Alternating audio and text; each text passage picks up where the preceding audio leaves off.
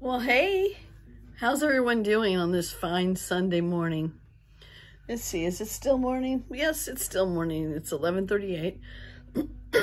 Excuse me, you know, I'm always coughing. It's 11:38. I just got back from church. This church that I went to, I haven't been to church in I'm ashamed to say in a very, very long time. And I've been to different churches here in Marble Falls, but this one so far has been my favorite.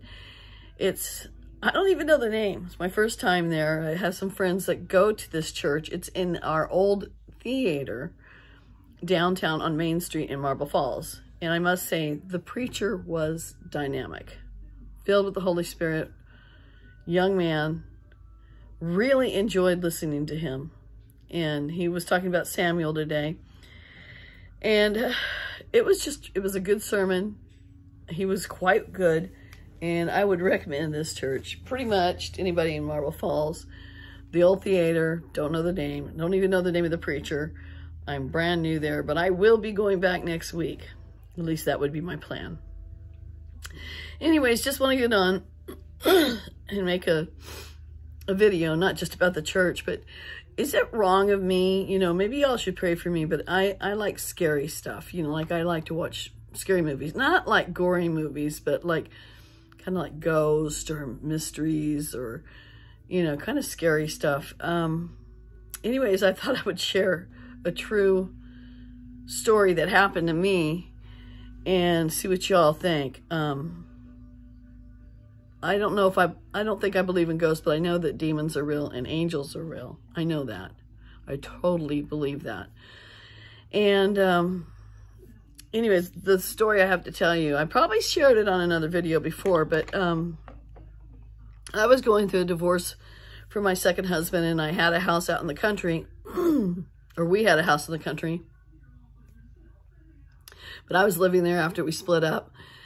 And uh, my daughter and I were waiting for a friend to come over, actually somebody I was dating at the time. And um, we were watching TV in the bedroom. Sorry, I had to think back on this. And it was my, my daughter was probably around nine or 10. And we were watching TV waiting for the, the person to arrive. And all of a sudden, I hear my ex-husband screaming loudly as he can. He was a very angry person. And I could hear him yelling, Tammy, but I could not, after he said, Tammy, I couldn't tell what he was saying. It was like, blah, blah, blah, blah, blah. So I went running down the hallway, my daughter following me. And you could hear the until we got to the living room and it stopped and there was nobody there. This really happened. So then I went out and I looked outside, no car, nobody, out back, nobody. And my daughter was like, what's going on, mom? And I was like, you know, I don't know. It's really weird. So I said, uh, just forget it and let's go on to back to the bedroom watch TV. So we went back. About five minutes later, it happened again.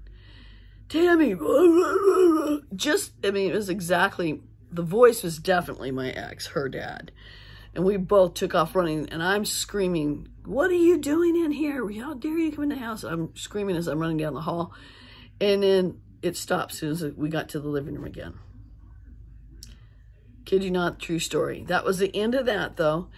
And he wasn't there. Uh, what do you guys think? Do you think can, like, voices get trapped in the walls from, like, so much yelling all the time? Kind of like a tape recorder, you know, picks up the voice, the sounds. Um, did it get caught on two by fours in the walls? I mean, or was it something else? Was it his anger towards me coming through? I don't know. What do y'all think? Give me your info back on. Do you think, because I'm telling you, this is a true story. This really happened. Um, it happened. And my, I wish my daughter was here to verify it. But if she sees this video, she'll probably, she'll, she'll probably say, yes, it's true. It really happened. If I don't think she even watches my videos. But anyways, just wanted to do a video about that. Get to church if you haven't been. If you don't know Jesus, come to know him. Love y'all. Thanks for watching this, taking your time to watch it. And if you haven't subscribed, please do. And if you liked it, give me a thumbs up. And I'd love to hear back from you. Let me know what you think about that story. It was crazy. And another thing that happened is my daughter told him about it. And he said he heard me yelling at him this at his house. I don't know if I believe that. Just too weird. Anyways, let me know what you think. God bless each and every one of you. Have a great night. Have a great Sunday. Love y'all. Bye-bye for now.